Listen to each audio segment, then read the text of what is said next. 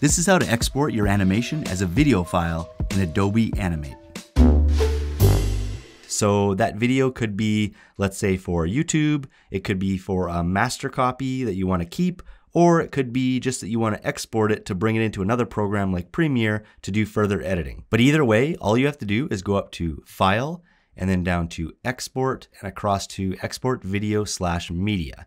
Now, when this window opens up, if you have an older version of Animate, this window is going to look way different. As I recall, the only things you might see are format, and you definitely don't have all these options. I think it's just QuickTime, and then you have output and this thing right here. So let's talk about output first.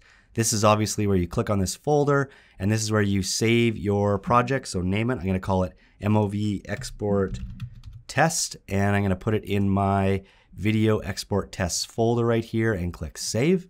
But as you can see, if you have the newer version of Animate, then there's a whole bunch of other things we can now adjust in regards to our export. So let's start up here with render size. And this is obviously where you can change the resolution of your exported video. Right now mine is at 1920 by 1080, so 1080p.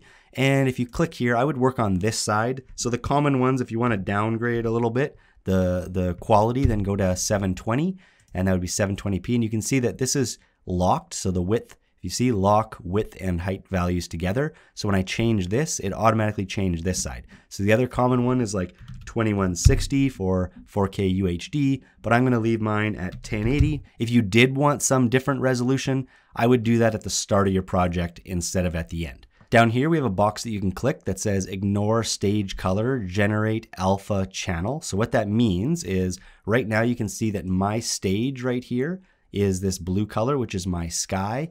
If I click this, it's going to say ignore that stage color and make it see-through. So it's kind of like a PNG image as opposed to a JPEG. So you would do that if you, let's say, made some sort of graphic or something that you want to export and then overlay on top of some other video, let's say in Premiere or something like that. Next, we have the span at which we want to export. So there's a couple different ways you can approach it. I only have one scene, so this doesn't really apply to me. But if you had more than one scene, you could select, let's say, to export from scene one to scene four, and let's say not all of them.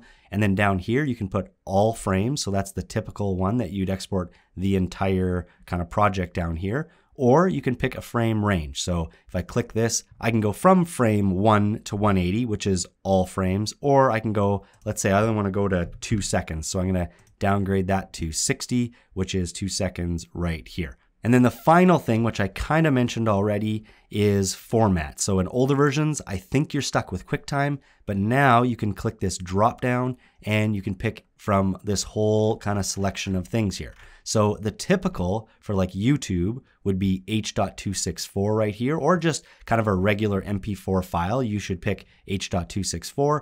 If you're trying to save a master, like a high quality one, I'd select QuickTime right here.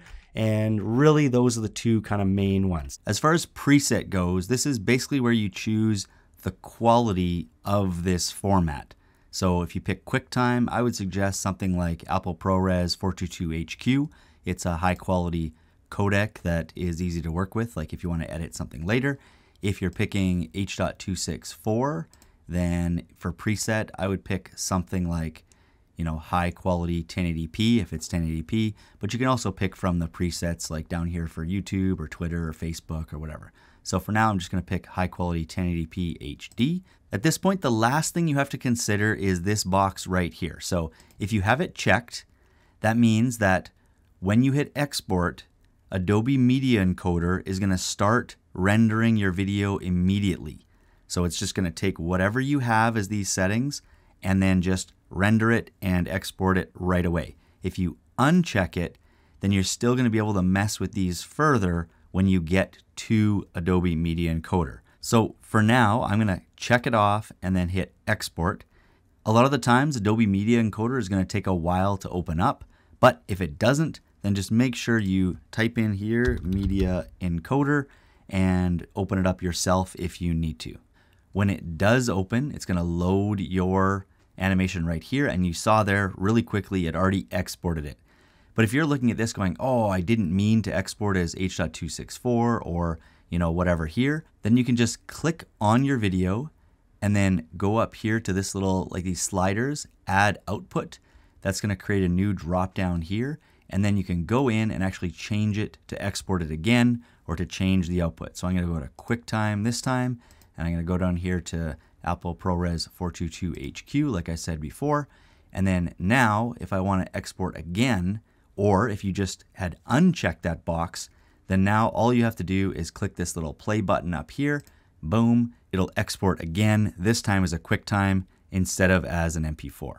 Just take note that if you are exporting a video with an alpha channel in the background, so you want it to be an invisible background, then make sure you pick one of these that says with alpha. So with alpha or with alpha. Now, if we take a look in my export folder, you can see that I have exported three different versions of that same animation. One is the MP4 that you can see we can play right from whatever viewer you have. It'll probably play just fine.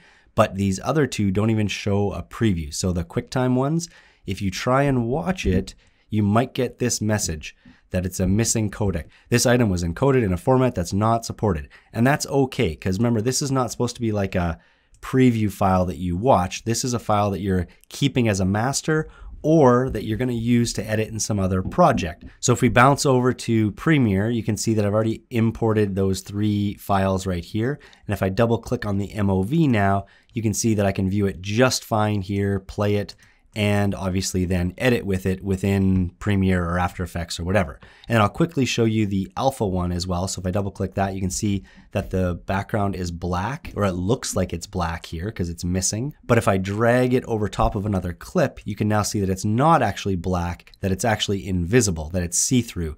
And this really comes into play. You can obviously tell for like graphics and stuff that you're going to export and then use constantly to put over top of other footage. So then you don't have to get rid of the background. It's already done for you. But what if you don't have Adobe Media Encoder and you still want to export your animation as a video? Well, then you're going to need a program like Premiere or Photoshop instead. For more information about how to export using Premiere or Photoshop, make sure to click on the video that's on the screen right now.